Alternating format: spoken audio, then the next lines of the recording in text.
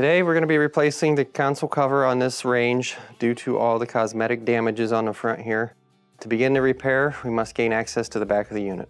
Stop. Before beginning any repair, be sure to always disconnect the power to the appliance. It is also recommended to test the outlet for proper voltage.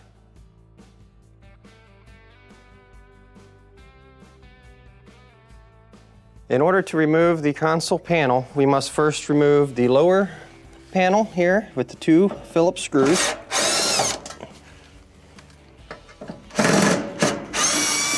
Lower it down, you can just set it aside. And then there are 12 number two Phillips screws that hold the upper panel on.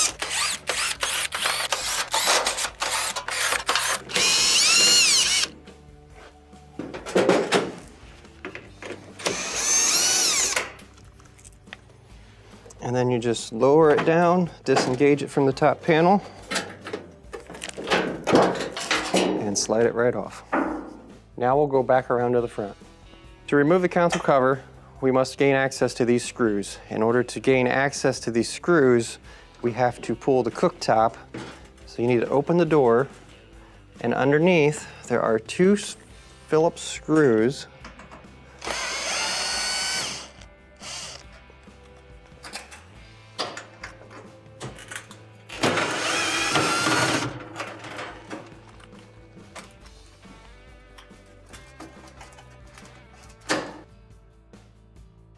The cooktop, you just lift up and pull forward, lifting at the rear at the same time. And then set it aside. Now that we've got the cooktop out of the way, we can pull all the knobs off of our infinite switches. Remove all the screws, Phillips screws for our switches here. And just kind of let them fall in.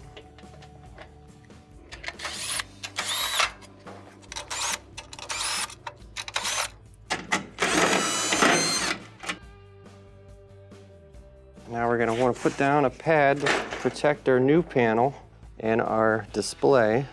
Now that we've removed the cooktop, we can gain access to the screws underneath the panel.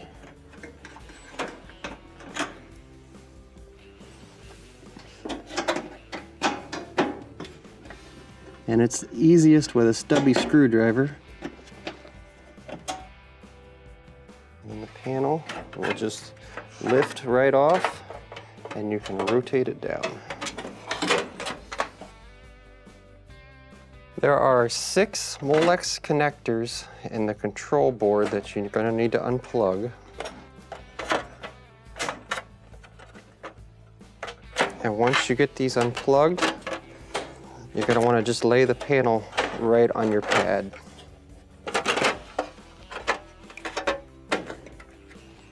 So to remove your control panel and your display, there are two Phillips screws. Once you unscrew those, you lift your display right off and set it aside. The last step is to remove these two little brackets set them off to the side. And once you have those off, take your panel, set it aside. Now that we have a new cover, doesn't have any defects in the front, there is a protective film on it. You're gonna wanna leave that on until the very end so that we don't scratch it. Take your brackets, slide them back in and snap them in place.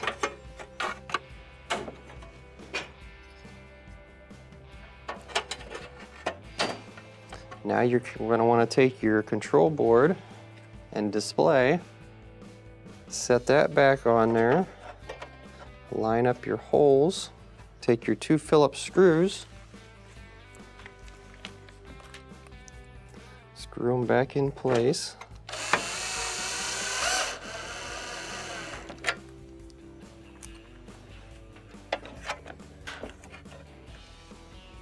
Try not to cut your fingers on the sharp metals.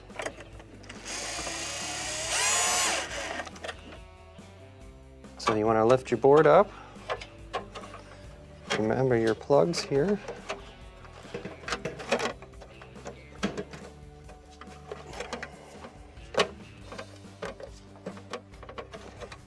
They are color coded, so you can't put them in the wrong spot.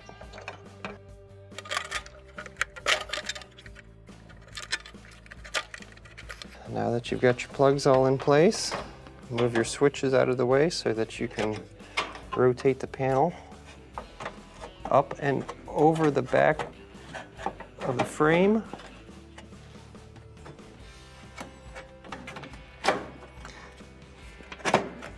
And slide it straight down and push it back. Next, you want to take your infinite switches Use your left hand, hold it in place, line your screws up.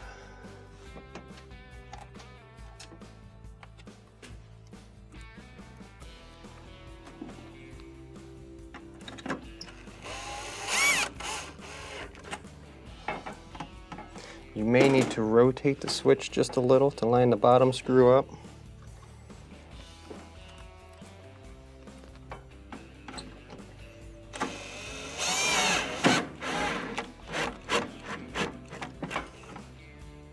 And do the same for the other three.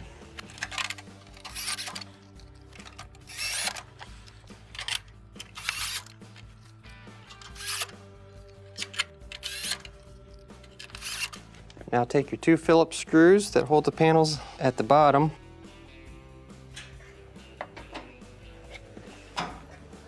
With a stubby screwdriver again, screw those tight.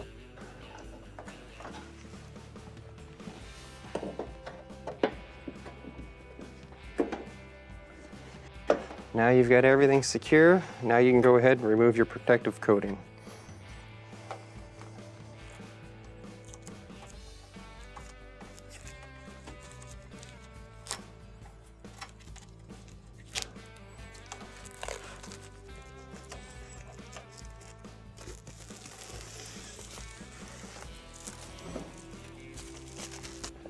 Now we'll go ahead and install the knobs.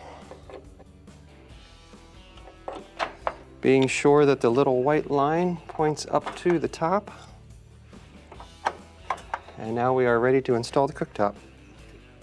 So you're gonna wanna grab your cooktop, being gentle with it because it is glass. Kind of gently lay it on top. And in the back, on the frame, there are two little clips that must engage into the top of the panel, or the cooktop, I mean. You're gonna engage them and then slide the cooktop back.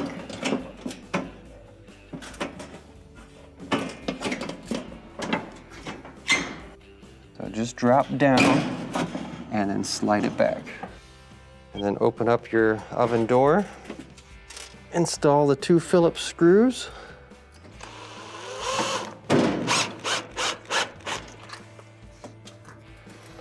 Now you may have to slightly tap on the cooktop to get your holes to line up.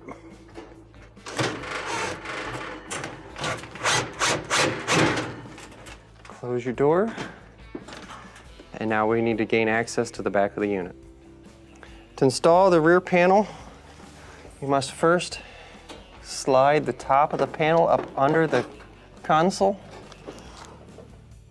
Line up your screw holes.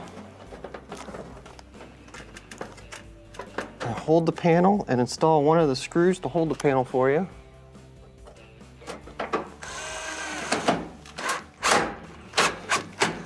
And now that you got that one in, move on to the other side. While still holding the panel.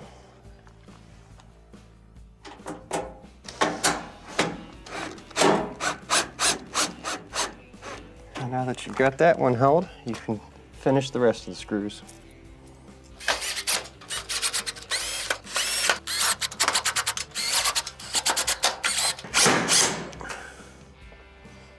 Next, we'll install the lower panel.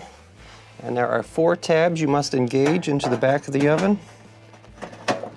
And slide them in and then slide it up until your screw holes align.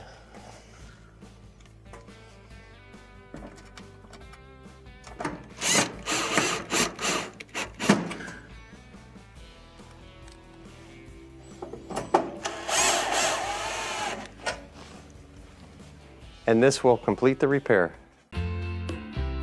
Thank you for watching another quality video brought to you by ApplianceVideo.com.